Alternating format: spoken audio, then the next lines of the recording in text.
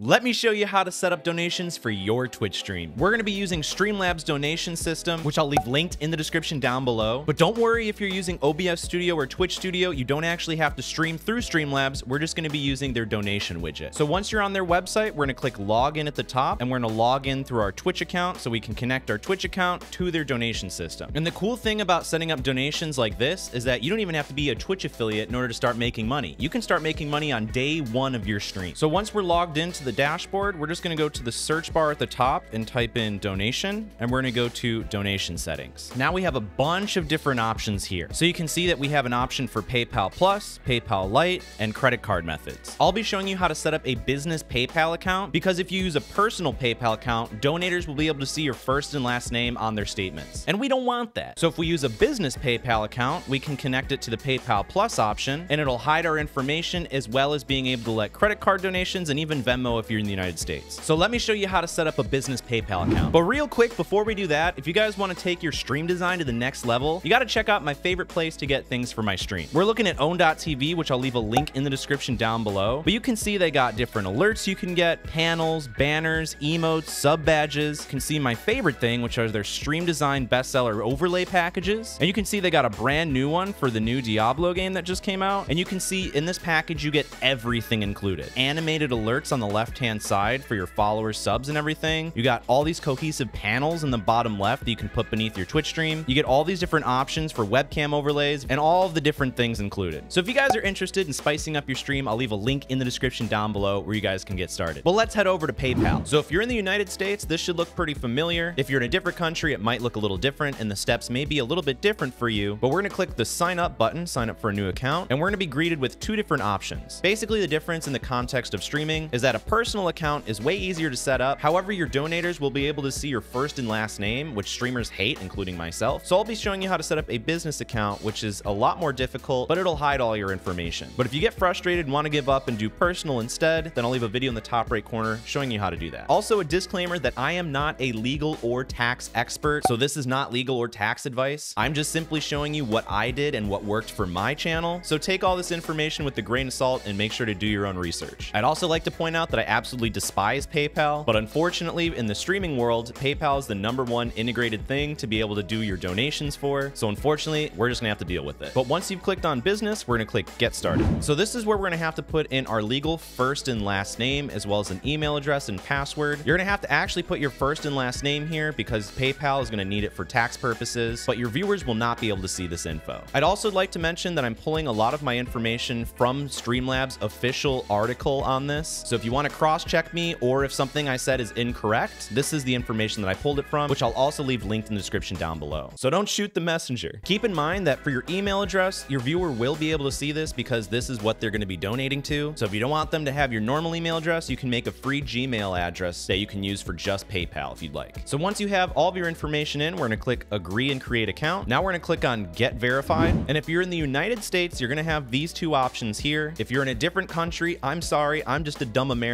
So I don't know what options your countries are to have. So Google is your best friend. But if you're in the United States, chances are you're to pick sole proprietorship. And that just means you're just an individual. However, if you have an actual business and you're an LLC or anything else like that, you're to choose company. Now, as far as I'm aware, this is the legal information that PayPal is to be using for the tax records and not actually displayed to your donators. However, the business name is what's to show up on the credit card statement, so that's what's to show up. So your business name is to be your Kick account name or your Twitch name, whatever streaming service you're using. And if your username isn't available, if you're on Twitch, you can do TTV at the end or you can do Kick at the end. So then this is the name that will show up on their credit card statements instead of your actual name like a personal PayPal account does. For your phone number, you can use your real phone number because as far as I'm aware, this is just for PayPal. And there's a workaround for this if you don't feel comfortable giving your regular phone number. You can actually use a free Google Voice phone number, which you can get by just using a Gmail account and your regular phone. And using those two, you can sign up for a free Google Voice account, which will give you access to a new phone number that you can use for all the different options. So that way you don't have to worry about anything. So if you want, I'll leave this also linked in the description down below as an added layer of security for you guys. Then you can put in your home address and then click on save and continue. Now this is the part that a lot of people get tripped up and I personally hate. We are definitely a for-profit, so leave this part unchecked. But if you go and type in stream under here, you see Steamship and cable satellite and other paid television radio streaming services, which doesn't fit streaming at all, really. But unfortunately, that's that's the closest thing that we can find. You can cross check that info on Google and Reddit, and that seems to be the consensus on what we should use. But if you have another suggestion, leave them in the comments down below. I'd love to know. For your monthly sales, if you're just starting out, chances are you're gonna make between zero to $5,000, and you can change this later, so just put an estimate. I'd say zero to 5,000 is fine. Does your business have a website? You could put your streaming page, so your Kick page or your Twitch page, but I think this is optional, so you can click no and just not worry about it. Once again, I'm not an expert in this field. I'm just showing you guys what I did. And then we're gonna uncheck this debit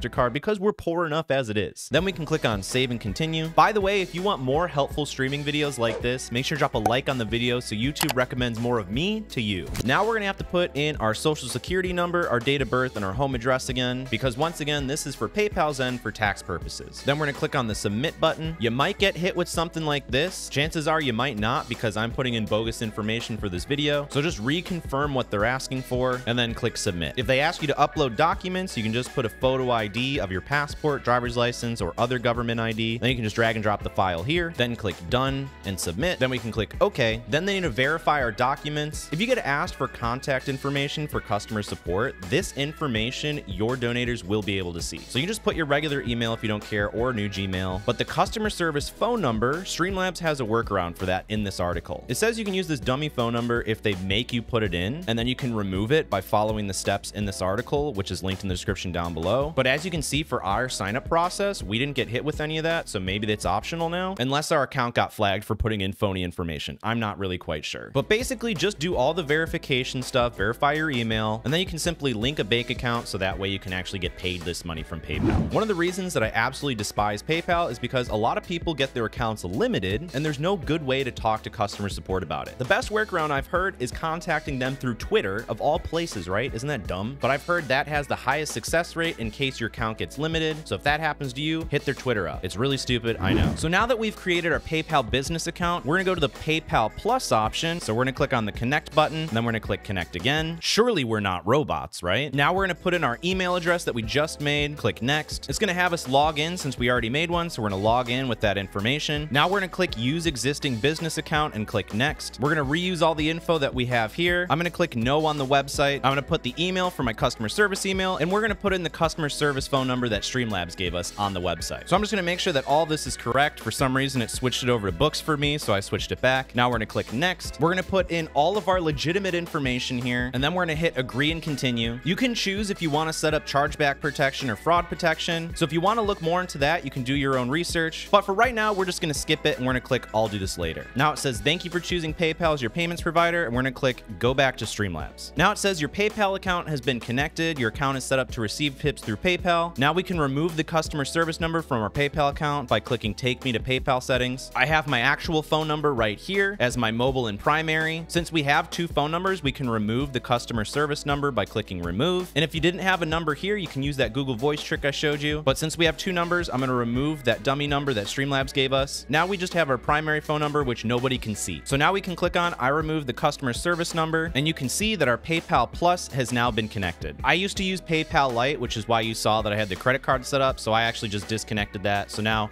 all I need is the PayPal Plus option, which is what you have now. So now you can take this little URL right here, you can click on it, it'll copy your URL, and this is what you're gonna give to your viewers, whether you wanna put it in your chatbot or in a panel underneath your stream. But this is the web page that it'll take your viewers to. They'll put their username in, how much they wanna donate. So if we try and put a donation through, we can click donate, and then it'll prompt your viewer with the option of donating through a credit card or through a PayPal account. So that way you got more options to make some more money. And if you wanna customize your donation page, you can just go back to your donation settings, click this little pencil icon next to your URL, and then click continue. And you can go through all these different tabs to change the design and everything else you'd like to change about your donation page. And if you want your donations to appear on your screen in an alert setting, then you'll just go over to the alert box on the left and you'll go to the donations tab. And then you can customize your donation alert here. And if you're using something else for your donations, like Stream Elements or a different service, then you'll just go through all of these other options here, like follows, and then you'll click on disable. So that way you don't get a double alert when someone follows you because you only want to use the donation section, which you'll leave enabled, but you'll go and disable all the other ones. Or if you just want to switch to Streamlabs alerts for everything, that would probably make it easier. And so in order to get this alert box to show up over your stream, you'll just copy this widget URL under alert box and you'll post this in as a browser source in OBS Studio, Twitch Studio, or whatever streaming service you're using. So if you guys want to say thank you, I'll leave my donation link in the description down below. But you can watch all my other Twitch tutorials to the side of me me to help your stream out. But my name's Cody, and I'll see you in the next one.